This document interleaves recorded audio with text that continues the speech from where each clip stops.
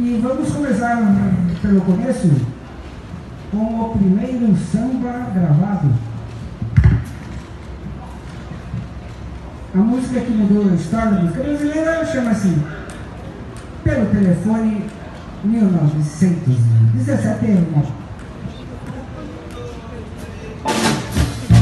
é